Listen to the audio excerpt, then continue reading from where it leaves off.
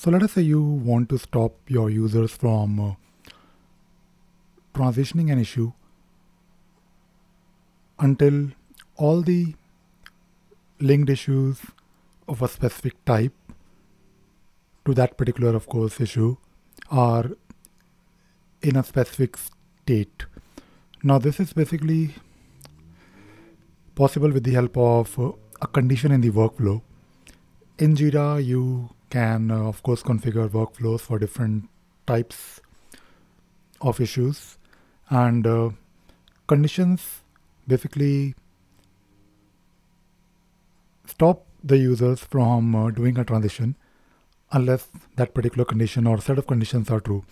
Now, this question is asked by mk underscore 27 and uh, the question is start transition conditioned by another issue status.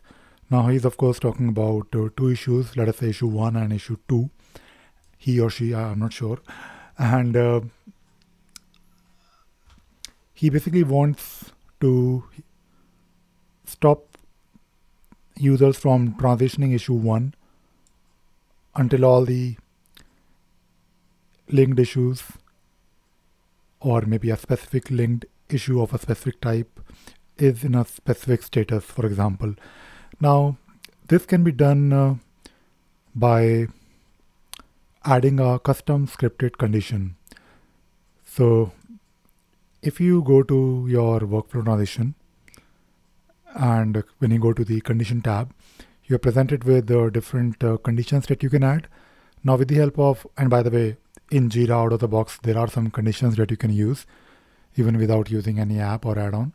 But of course, with the help of some apps, you have a lot of other conditions. One such app is called ScriptRunner for Jira.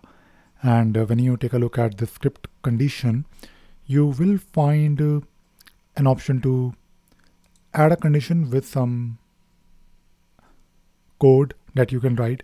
Now, if you look at this particular page, which is the official documentation of uh, Script You do have one example that talks about uh,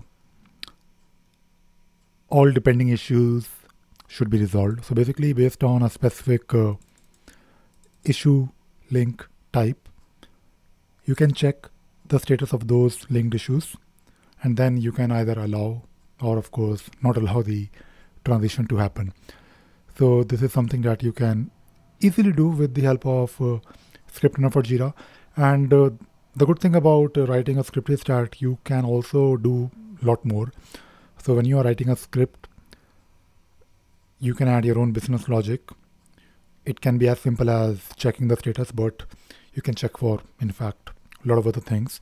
Maybe you want uh, your linked issues to have a specific status along with maybe some other check that you want to do. So you have a script where you can add this logic.